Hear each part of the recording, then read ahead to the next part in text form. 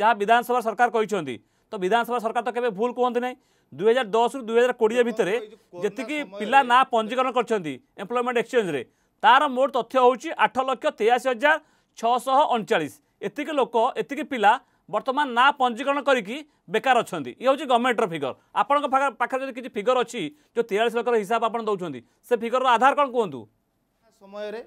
সরকার অপারগতা প্রমাণিত করেদেছি আপনার দেখুবে যেটা করোনা সময় হল বাহার লক্ষ লক্ষ যুবক যুবতী ছাত্র মানে যে চাকরি করলে বাহার যাই দাদন খটুলে শিক্ষিত যুবক মানে যাই ওড়শা আসলে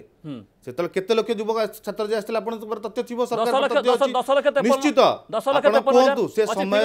সে সরকার দশ লক্ষ যে পিলা যাই বাহার দাদন খটুলে যে বেকারি বুলুলে সে ওড়শার লে সরকার কে କି ତମେ ସ୍କିଲ୍ ଯେଉଁମାନେ ଷ୍ଟ୍ରଙ୍ଗ ଅଛି ଭଲ ଅଛି ତାକୁ ଚାକିରି ଦେବ ବୋଲି ଆଜି ଦେଇପାରିଲେନି ବୋଲି ସେ ପୁଣି କେମିତି ଆସିଥିଲେ ଓଡ଼ିଶା ଚାଲିକି ଆସିଥିଲେ କେମିତି ଲୁଚିକି ଆସିଥିଲେ କେଉଁ ଅବସ୍ଥାରେ ସେମାନେ ଆସିଥିଲେ ଆଜି ପୁଣି ସେ ସେଇ ବାଟରେ ସୁରଟ ଫେରିଲେ କିଏ ପଳେଇଲା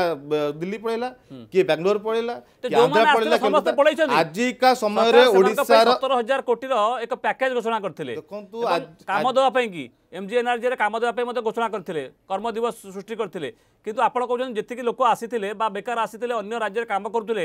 এই করোনা লকডাউন সটডাউন সময় সে আসিলে ওড়শা ফেরি দশ লক্ষ তেপন হাজার সমস্ত পড়াই না সে কিছু কাম দিয়েছেন সরকার কিছু কাম দিয়েছেন কাহা কাম দেই না সবার ভুয়া বুলাউছেন কম তথ্য সরকার পাখে অনেক মু পচারে চাহুছি তুমি যদি দ্বিজুততা কব যেতবে এবার যুব বাহিনী তুমি চলাইছ ইয়া পূর্ব যুব নীতিটা আরম্ভ করছিল সে যুব নীতি କୌଣସି ଗୋଟେ ଜାଗାରେ ବି ନିଯୁକ୍ତି ବିଷୟରେ ଗୋଟେ ପ୍ରଶ୍ନ ନଥିଲା ତାପରେ ଯେତେବେଳେ ଛାତ୍ର କଂଗ୍ରେସ କି କଂଗ୍ରେସ ପାର୍ଟି ଲଢ଼େଇ କଲା ତାପରେ ନିଯୁକ୍ତି ମେଳାର ଆୟୋଜନ କଲ ଓଡ଼ିଶାର ଛାତ୍ରମାନଙ୍କୁ ଯୁବକମାନଙ୍କଠୁ ପଇସା ଆଦାୟ କଲ ପଇସା ଆଦାୟ ପରେ କଲ କ'ଣ କାହା ଗୋଟେ ନିଯୁକ୍ତି ଦେଇପାରିଲେ ସେ ଭୁଆଁ ବୁଲେଇକି ଚାଲିଲେ ତାପରେ ଯୁବ ବାହିନୀ କଲେ ସେ କାହା ପଇସା ଯୁବ ବାହିନୀ କରୁଛନ୍ତି ଆଜି ଯେଉଁ ନିଯୁକ୍ତି ବିଷୟରେ କହୁଛନ୍ତି ଆମମାନଙ୍କ ରାଜ୍ୟ ସରକାରଙ୍କର ସାଧାରଣ ଲୋକଙ୍କ ଟ୍ୟାକ୍ସ ପଇସା ନେଇ ଯୁବ ବାହିନୀ କରୁଛନ୍ତି ସେଟା ପୁଣି କ'ଣ କରୁଛନ୍ତି ସେ ଯୁବ ବାହିନୀ ରହିଲାନି ସେ ଆଜି ଓଡ଼ିଶାର ଗୁଣ୍ଡା ବାହିନୀରେ ପରିଣତ ହୋଇଯାଇଛି ଯଦି ଆଜି ଡେଟ୍ ସମୟରେ ଯଦି ରାଜ୍ୟ ସରକାର ଉଚିତ ଛାତ୍ରଛାତ୍ରୀମାନଙ୍କୁ ନିଯୁକ୍ତି ବିଷୟରେ କହିଥାନ୍ତେ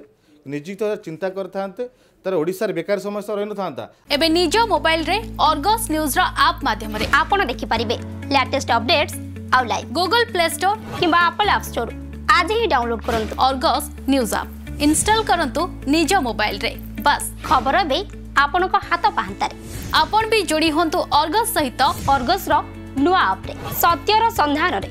ଅର୍ଗସ୍ ସବୁବେଳେ ଲୋକଙ୍କ ସାଥିରେ